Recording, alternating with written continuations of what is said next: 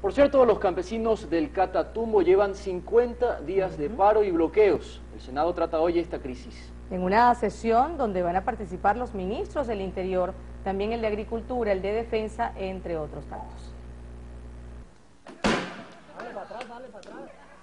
Un mes y medio después, la lucha campesina en el Catatumbo se mantiene y el gobierno aún no resuelve la situación social. Según los labriegos, la represión de la policía es cada vez más fuerte y ahora los periodistas también son blanco de la fuerza pública. Me dispararon directamente una granada de aturdimiento. Si no es por el chaleco, creo que me puede quemar. Creo que tengo un dedo dislocado. Le rompió el La represión ahí, el desmán de fuerza. Directamente a las personas, no están disparando como es debido que es a 45 grados de altura. Están disparando directamente, no importa la cercanía. Según los líderes campesinos, el bloqueo de las principales vías de esta zona del país andino se mantiene y la fuerza pública está volviendo a disparar armas de fuego.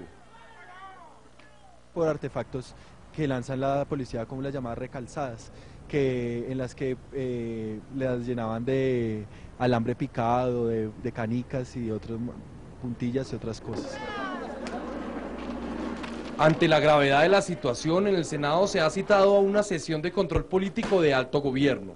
Para algunos congresistas, el descontento social deriva de la necesidad de cambios de políticas que obligan a los campesinos a salir a protestar.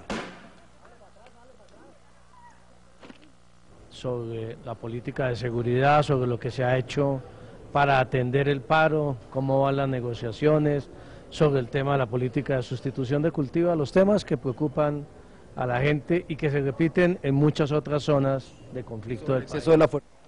El Senado citó a los ministros de Defensa, Agricultura y Transporte para que respondan por las violaciones de derechos humanos en el Catatumbo y por la negociación fallida del gobierno con los labriegos. Paul Bacarés, Telesur, Bogotá, Colombia.